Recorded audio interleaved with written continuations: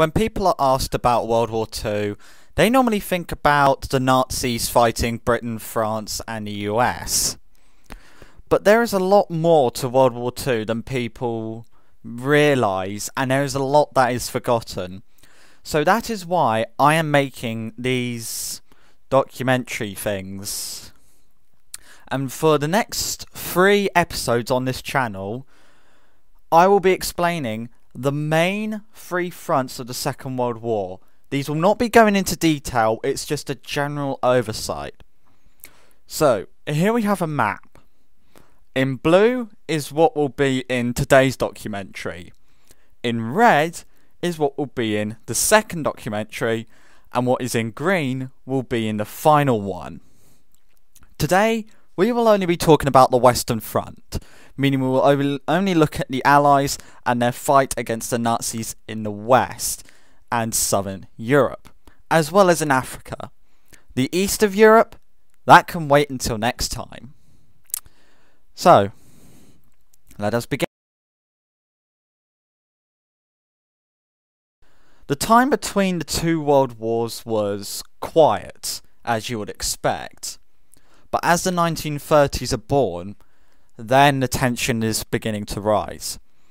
With the rise of the fascist party in Germany and the establishment of Il Duce in the previous decade. Let's talk about Il Duce. So, Mussolini began his life in politics as a socialist, planning to overthrow the monarchies of Europe.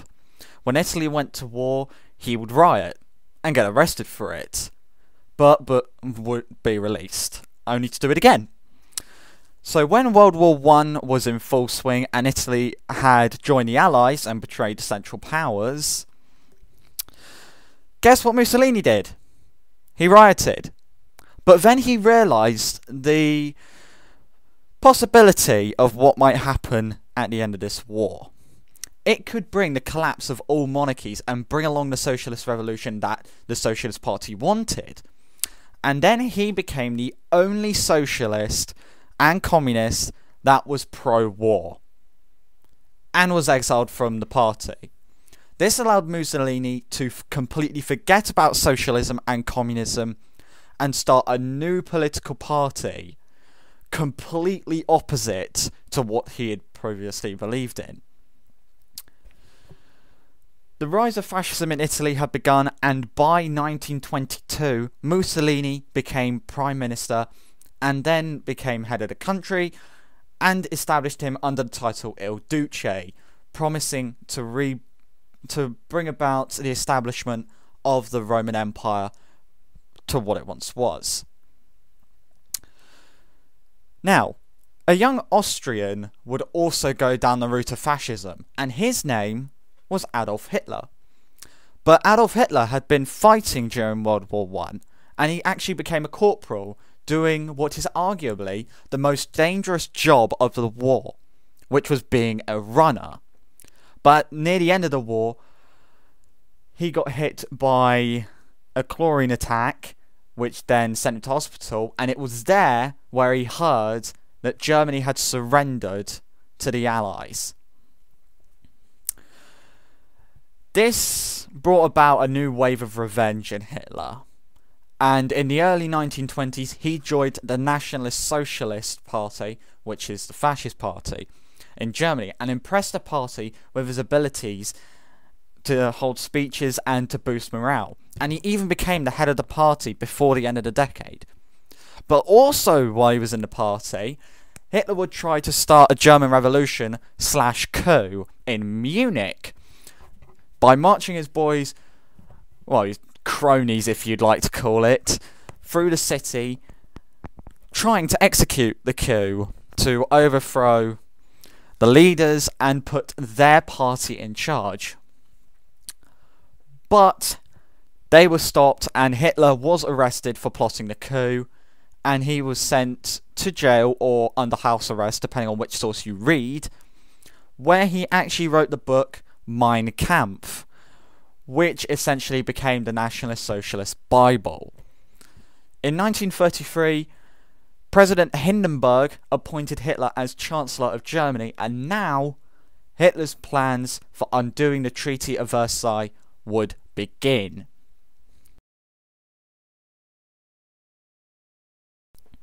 The Treaty of Versailles was signed in 1919, detailing what had to be done to Germany after the war. They had to demilitarize the area of the Rhineland, remove their air force, remove all their submarines. It was a quantified amount, but they didn't have that amount, so they just demanded all their subs. Their navy could only consist of six ships. The army would be limited to no more than 100,000 men, and Germany would have to cede land to France, Denmark, and Poland, these being Alsace Lorraine, South Jutland, and Danzig and Poznan, respectively. Hitler undoubtedly hated this when he heard about it, and now, since he being the Chancellor of Germany, he could begin to undo, especially when he was appointed Führer he began to introduce conscription, which induce, increased military size in Germany. He had given birth to the first Luftwaffe squadrons, and he began the secret Panzer project, which was the development of tanks. And he even sent troops into the demilitarized area of the Rhineland, giving them orders to immediately retreat should the Allies show up. But they didn't. At this time, Mussolini would also seek to expand his territory in Africa, and he fought where in Africa is not yet colonized, and he saw Abyssinia, which is Ethiopia, which he invaded and successfully done through 1935 and won in 1936. Now, this wasn't the first time that Italy had tried to invade Abyssinia, as they tried once in 1895 and failed, but that's for another video entirely. Now, what were the Allies doing at this point? Well, Britain and France were meant to respond to the acts done by Germany, which was to tell him, no, the treaty is in place for a reason, send your men out to the Rhineland, and get rid of conscription.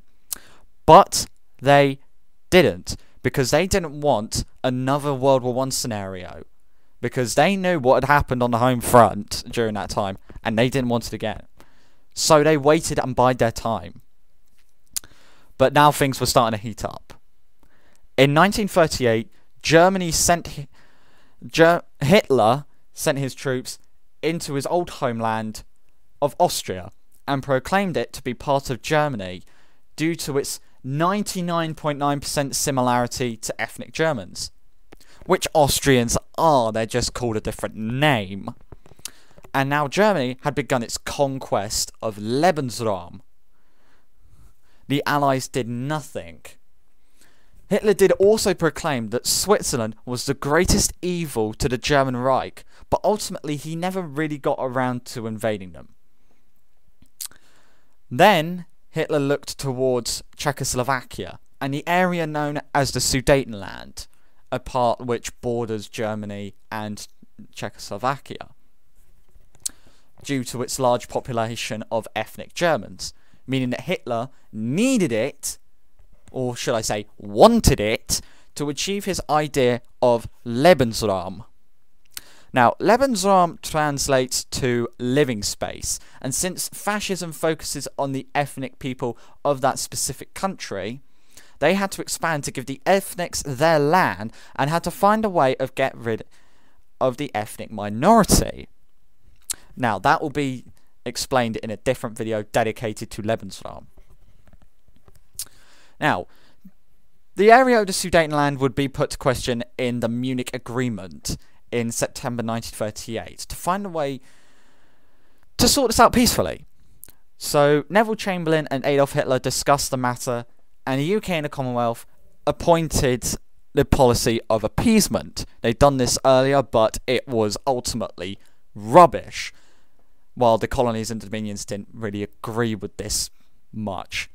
And in the end of it, without a Czechoslovakian representative being present, Germany was given the. Now, when Chamberlain returned to Britain, he believed that world peace was continued. But actually, on the 30th of September, Hitler sent his troops into Czechoslovakia and partitioned it. He claimed what is the modern day area of the Czech Republic as Germany, he puppeted Slovakia and gave parts of Slovakia to Hungary. Now Hitler had got what he wanted so far, and Mussolini had also occupied the country of Albania, giving him complete control to the Adriatic Sea. There was one last target that Hitler wanted, and that was the city and province of Monday Gdansk, which was called Danzig. Now, he hated this area because it split ethnic Prussia with Germany. And to see Germany connected again was one of his ideals of Lebensraum. But he wasn't going to ask for it this time. He thought that the Allies would be too scared. And so, we move on to a heating of a fire.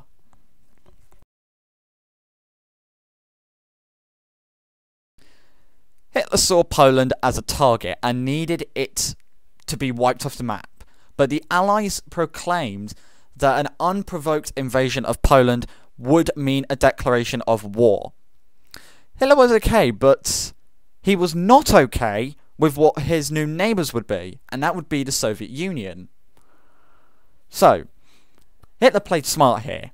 He sent his foreign minister, Ulrich Friedrich Wilhelm Joachim von Ribbentrop to meet Stalin and Vyacheslav Molotov to discuss a treaty between the two. And it went like this both Germany and the USSR would invade Poland from their respective sides and split it between them, giving them equal land. And then it would enact a non aggression pact that was stated to last a decade. And Stalin, being the quote unquote tactician he was at the time, agreed. And now the Allies in the West were absolutely stunned at what had happened. Two completely different ideologies now forming an alliance. Now, I did mention that the East would be saved for the next documentary, but I thought I would include the fall of Poland. So, with the Molotov-Ribbentrop Pact signed, on the 1st of September 1939, Operation Fall Weiss was initiated and World War II began. In the eyes of some people, I'll explain that in the third documentary.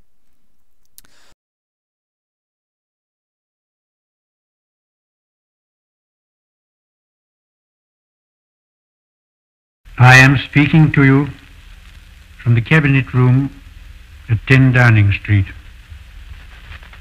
This morning, the British ambassador in Berlin handed the German government a final note stating that unless we heard from them by 11 o'clock that they were prepared at once to withdraw their troops from Poland, a state of war would exist between us. I have to tell you now that no such undertaking has been received and that consequently this country is at war with Germany. The Polish couldn't stand against the might of both the Reich and the Soviets and fell in under two months, many of who escaped to Britain to continue the fight. But now a new war would begin. This would be known as the Phony War, a period of World War II where the Allies should have done something to push into Germany, but ultimately didn't. But the Battle of the Atlantic was more than underway at this point. The Battle of the Atlantic saw the Kriegsmarine going up against the Royal Navy, playing cat and mouse with British supply convoys. Now, as 1945 is born, the French did actually make a small advance into the area of the Saarland in Germany. But they got 12 miles in, then halted their advance and walked back to the Maginot Line. This would be the furthest that anyone would go into Axis occupied territory in 1940. And now Hitler started planning invasions for not one, not two, not three, not four, but five different countries in the spring of 1940. While the Allies were sort of being more focused towards Scandinavia. Sweden and Norway had been exporting iron ore to Germany, which was turned into steel, which became their tanks and rifles. So the Allies went to Norway and Sweden and asked them to stop exporting to Germany. But they ultimately refused because they didn't want to be part of this war. So Britain went and mined the waters around Norway, forcing their ships into international waters, allowing inspection. But little to their knowledge, Hitler was planning to invade Norway, and he did so in April 1940, called Operation Weserübern. I don't know if I said that right. Also, in tandem with this, the Battle of France had begun. Now, the French had built the quote unquote best defense they could, the Maginot Line. They had built it all across the German border but didn't extend it to the Channel. Now, Hitler knew there was no point invading through the Maginot, it would just cost resources. So Hitler invaded through the Benelux countries of Belgium, the Netherlands, and Luxembourg. And when he had, and when he invaded, the Allies rushed to meet him and halt the advance. But what could be described as a similar scenario to the First World War was coming. If the French hadn't left the region around the Ardennes forest undefended, as it was thought to be impassable by armour due to its high concentration of forest, and Hitler proved them wrong by sending three armoured divisions through the forest and into northern France, cutting the BEF and the best of the French army, which is most of it, off and forced them back to the port of Dunkirk, beginning Operation Dynamo. Now, by this time, Chamberlain had resigned and Winston Churchill took his place. And Churchill called Operation Dynamo, and he hoped for 35,000 troops to be saved. Not a lot, but enough but a grand total of 330,000 was saved, and the war raged on. By now, Hitler now had control over France, Belgium, the Netherlands, Luxembourg, Denmark, and Norway, and now Italy had joined the war just before French's surrender. When Napoleon lay at Boulogne for a year with his flat bottom boats and his grand army, he was told by someone, there are bitter weeds in England. There are certainly a great many more of them since the British Expeditionary Force returned. Sir, I have myself full confidence that if all do their duty, if nothing is neglected, and if the best arrangements are made, as they are being made, we shall prove ourselves once more able to defend our island home to ride out the storm of war and to outlive the menace of tyranny, if necessary for years, if necessary alone. At any rate, that is what we are going to try to do. That is the resolve of His Majesty's government, every man of them. That is the will of Parliament and the nation, the British Empire and the French Republic, linked together in their cause and in their need will defend to the death their native soil, aiding each other like good comrades to the utmost of their strength. We shall go on to the end. We shall fight in France. We shall fight on the seas and oceans. We shall fight with growing confidence and growing strength in the air. We shall defend our island, whatever the cost may be. We shall fight on the beaches. We shall fight on the landing grounds. We shall fight in the fields and in the streets. We shall fight in the hills. We shall never surrender. And if, which I do not for a moment believe, this island or a large part of it were subjugated and starving, then our empire beyond the seas, armed and guarded by the British fleet, would carry on the struggle until, in God's good time, the new world, with all its power and might, steps forth to the rescue and the liberation of the old.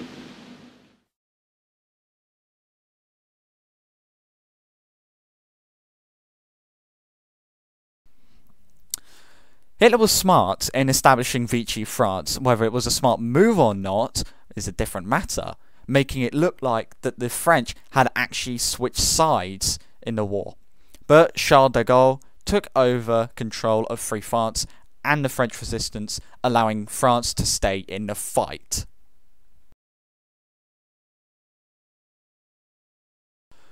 With all of Europe all of Western Europe under Nazi control, Britain stood alone, staring the death in the face, and Hitler started planning for an invasion of Britain, which would now be known as Operation Sea Lion. But there were two problems. First of all, the Royal Navy. The Reich could not stand against the Royal Navy with any hope, let alone with the RAF around. And the second problem was the RAF, the Royal Air Force. Knocking them out would allow Fallschirmjäger attacks to land in Britain, probably securing a multitude of ports. Now, Hermann Goering came to Hitler and said they should focus on gaining air superiority over England and the English Channel, and hence this began the Battle of Britain. The battle lasted for nearly four months, but ended with a British victory, keeping British air superiority over the Channel, nearly crippling the Luftwaffe beyond recovery.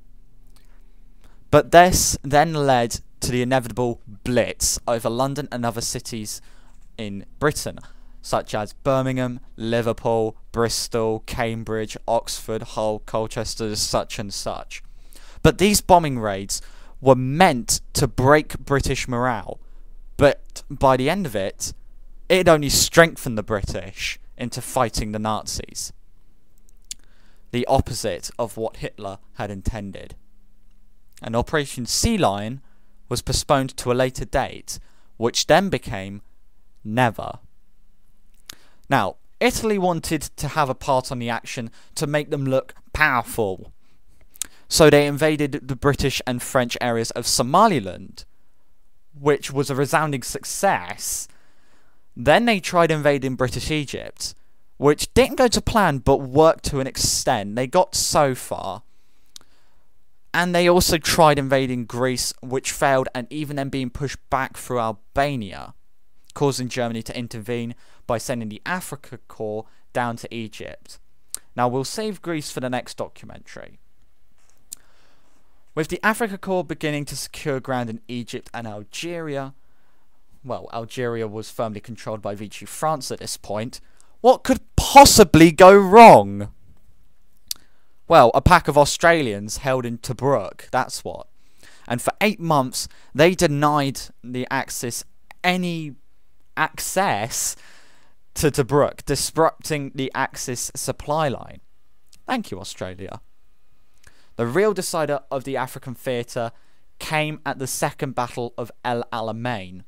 The first battle was an Axis victory, courtesy of Erwin Rommel, who was called the Desert Fox, but now Bernard Montgomery, the Desert Rat, was back with a vengeance and managed to retake El Alamein and began the push into Libya. Wait a minute. Transmission coming through. Hmm, what's that? Mm -hmm. oh, okay, thank you. The US has been attacked by Japan and Germany has declared war on the US. A foolish move. And by 1942, the US had arrived and Operation Torch had begun, pushing the Axis out of Africa. And the success of the African campaign and the growing number of victories on the Eastern Front, Stalin, FDR, and Churchill met in the capital of Iran, Tehran, to discuss the plans for Europe. Now, Churchill favoured an invasion of Italy and then moving up through southern Europe while FDR wanted an invasion of France. Stalin just wanted a second front in the war opened. and so began the invasion of Italy. Well, the preparations for it, and also mainland Italy. And in August 1943, the invasion of the island of Sicily had began with resounding success due to the fact that many Americans had cousins, maybe once or twice removed, but they were living in Sicily, so there was no real problem with it. And on the 1st of September 1943, the Allies invaded southern Italy. A week into the invasion, on the 8th of September, the Italian forces pulled out. With the war now on home soil, the Italian people suddenly felt hatred towards Mussolini and his fascist government. And before the end of the year, Rome fell, and Mussolini was booted out of office, and the Italian Civil War had begun.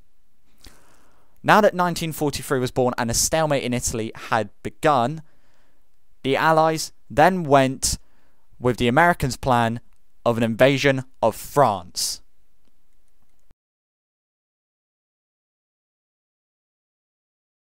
There were two places on the French coast that the Allies could invade successfully.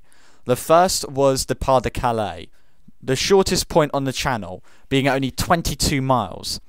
But there was a problem. Not only the terrain was unfavourable to the Allies, but it was the sensible place to land. A port raid at Dieppe in 1940 showed the British would have to elude the Germans to the utmost degree if they were to invade France. Now, the second target was Normandy, one of the furthest on the channel, being nearly 50 miles out but it was ultimately better in every way. Better beaches, better hills, better everything. And somewhere in Britain, I'll probably show a map right here, the agreement was made for an invasion of Normandy. But they weren't to land in Normandy. Let me explain a little. To avoid a repeat of the Dieppe raid four years earlier, they needed to lure the Germans away from Normandy by making them think that they were going to land at Calais and some landings in Norway. For the reason for this war to have led bloodshed, and the Atlantic Wall was there. An indestructible line of forts from the border with Finland down to the Pyrenees Mountains, able to stop everything. But when Erwin Rommel was sent to inspect the Atlantic Wall, there was nothing. Absolutely nothing. Just a couple of soldiers playing football. This was how bad the Atlantic Wall was. And German propaganda had made it to be something that it wasn't yet. So, Rommel's new task was to revamp and rebuild the Atlantic Wall by adding pillbox, Belgian gates, Czech hedgehogs, mines, barbed wire, and most importantly, his fateful tanks. But the tanks were under orders from the Fuhrer to be stationed at Paris, just in case if there was an invasion anywhere on the coast, they could be sent quickly. And Rommel didn't have near enough for the defence that he hoped. All during this time, the British had been inventing new technology just for this landing, and eluding the Germans into the size and the location of the invasion. Thanks to the 20 Committee, who were spies and some were even German spies rigged to be British spies. But the day had come, the 4th of May 1944. The invasion was to commence. But there was a problem. Good old British weather. So it was postponed to the 4th of June 1944. And then, when everyone was gearing up to get ready to go to France, they got a transmission in saying that the invasion had been postponed due to bad weather. It looked like the invasion was going to pass its due date and the Germans might even find out about it. But an RAF meteorologist went to General Eisenhower and told him that the weather was right for the invasion to begin on the 6th of June 1944. And so, Eisenhower commenced the attack. Soldiers, sailors, and airmen of the Allied Expeditionary Force, you are about to embark upon the great crusade toward which we have striven these many months. The eyes of the world are upon you. The hopes and prayers of liberty loving people everywhere march with you. In company with our brave allies and brothers in arms on other fronts, you will bring about the destruction of the German war machine, the elimination of Nazi tyranny over the oppressed peoples of Europe, and security for ourselves in a free world. Your task will not be an easy one. Your enemy is well trained, well equipped, and battle hardened. He will fight savagely. But this is the year 1944. Much has happened since the Nazi triumphs of 1940 41. The United Nations have inflicted upon the Germans great defeats in open battle, man to man. Our air offensive has seriously reduced their strength in the air and their capacity to wage war on the ground. Our home fronts have given us an overwhelming superiority in weapons and munitions of war and placed at our disposal great reserves of trained fighting men. The tide has turned. The free men of the world are marching together to victory. I have full confidence in your courage, devotion to duty, and skill in battle. We will accept nothing less than full victory. Good luck, and let us all beseech the blessing of Almighty God upon this great and noble undertaking. Three thousand ground infantry units and airborne troops headed their way for Normandy and to write their page in history. While the French resistance had been called up and started sabotaging supply lines in France to obviously help with the Allied invasion. And where was Rommel during all of this? Well, he had gone home to celebrate his wife's 50th birthday. And at 6am, the first landing craft hit the shore of Normandy. The Americans were sent to the beaches of Utah and Omaha beaches, as well as the cliff edge of Pointe du Hoc, due to the guns there that could shell both American beaches. The Brits were sent to Beach Gold and Sword, and the Canadians were sent to Juno. By late in the day, the beaches were in Allied hands, and the liberation of Paris came before September of that year. And now, the Allies were on Germany's home front.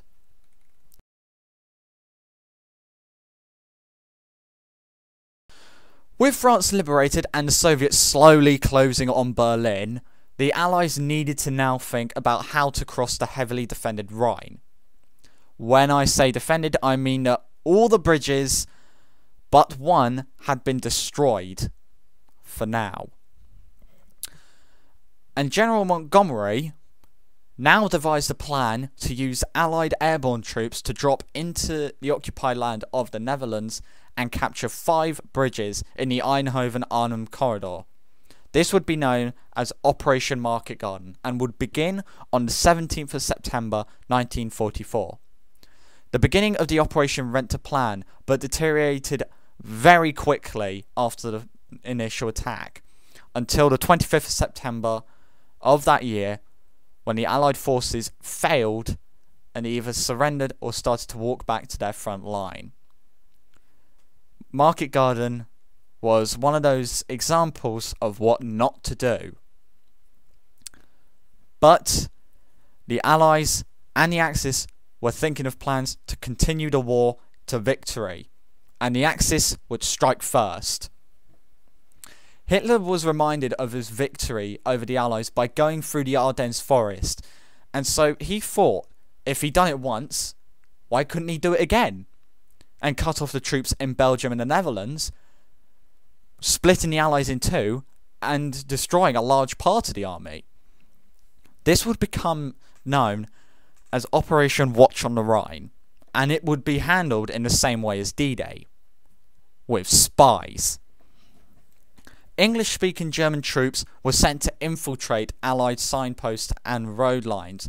They were also meant to disrupt communications. They outfitted the remaining of their panzer tanks to spare from Panthers to M10 Panthers. These were meant to fool the Americans, but they never work. You can tell just from looking at a glance.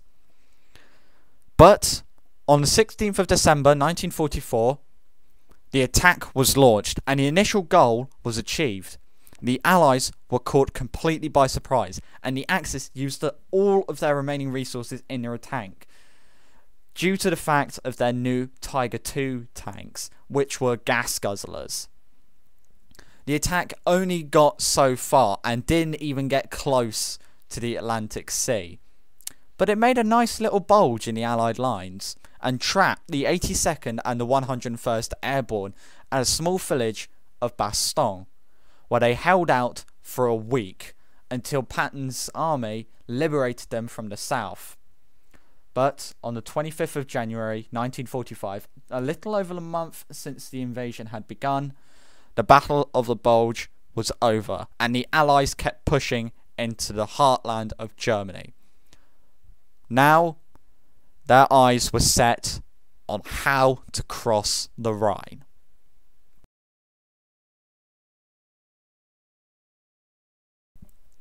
The Allies wanted to use the destruction of all the bridges across the Rhine to trap as many German soldiers on their respective side of the Rhine. But the Germans wanted to destroy the last bridge over the Rhine as soon as possible, getting all their troops across. Both wanted to destroy the bridge, and it would all come to a head at the town of Remagen, the last bridge across the Rhine. The Germans had been packing the bridge with explosives for a good while now and were ready to detonate it. But when the Americans turned up, they started to help them out by shelling the bridge and German side of the Rhine. It was only when the general in charge realised that the troops were trying to capture the bridge and started sabotaging the German explosives that they thought of the better option, which would be to capture the bridge. It would cut down the war in the West significantly. And on the 8th of March 1945, the Americans finally crossed the bridge, but they wouldn't have gained victory yet. That would come two weeks down the line, when the Allies finally got the Germans to surrender in their Brit in their tunnel just outside of Remagen. Now the Allies were in the industrial heartland of Germany. Since the Allies agreed that the Soviets would take Berlin, the Allies started heading south towards Austria and Hitler's Eagle Nest. But there would be one discovery that both found that would haunt a lot of people, both in Germany and on the Allied side. And this was the discovery of the concentration camps, used to exterminate all of the lesser races. This included, but is not limited to, Jews, Roma, Gypsies, the disabled, homosexuals, and that type of thing. Anything that wasn't considered ethnic German was sent there. Now, towards the end of the war, which is classed between the Battle of Kursk and the time that they were discovered in 1945, the Nazis started to speed up the extermination process to try and hide the evidence of their 6 million death toll Holocaust. But when the Allies moved into Austria, small skirmishes started and large scale battles would rarely be seen on the Western Front anymore. And one of the most interesting but ultimately weird battles would come down at Castle Itter, where German and American troops held out against a group of SS division troops. The most hated. And then the ascent began to Hitler's Eagle Nest. Now, the Eagle Nest itself was actually a present for Hitler before the war and was intended to be the hub of all operations, using its vast scenery and its high view range to their advantage. But it wasn't nearly as used as frequently as intended. But then, on the 2nd of May 1945, news came through saying that the Germans in Berlin had surrendered. The war was now over. Although some small encounters continued until six days after the official surrender, the war in Europe was now officially over. Yesterday morning at 2.41 a.m. at General Eisenhower's headquarters, General Jodl, the representative of the German High Command, and of Grand Admiral Dönitz, the designated head of the German state, signed the act of unconditional surrender of all German land, sea, and air forces in Europe to the Allied expeditionary forces and simultaneously to the Soviet High Command. Uh, hostilities will end officially at one minute after midnight tonight, Tuesday, the 8th of May. We may allow ourselves a brief period of rejoicing. Today is Victory in Europe's Day. Long live the cause of freedom. God save the King.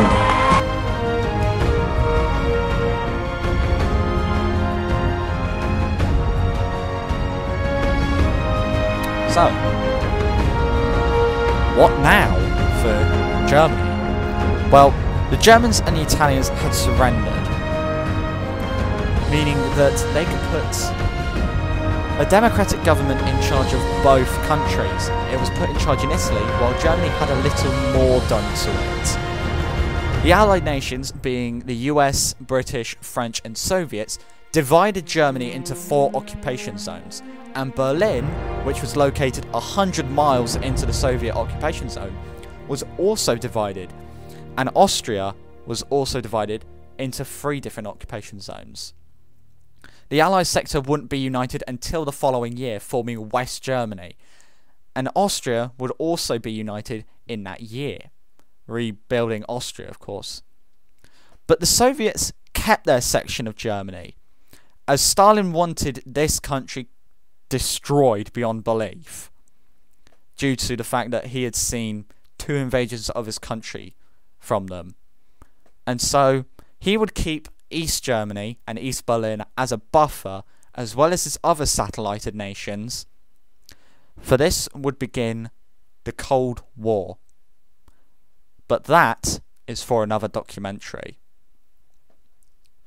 If you like what I've done in this documentary, leave a comment below. These are meant to be just a general summarization of what happened in World War II.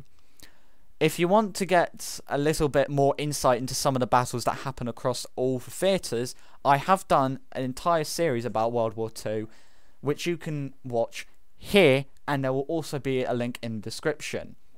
But thank you very much for coming out to watching this. This is Historian Beast, who will be doing the next documentary on the Eastern Front in Europe.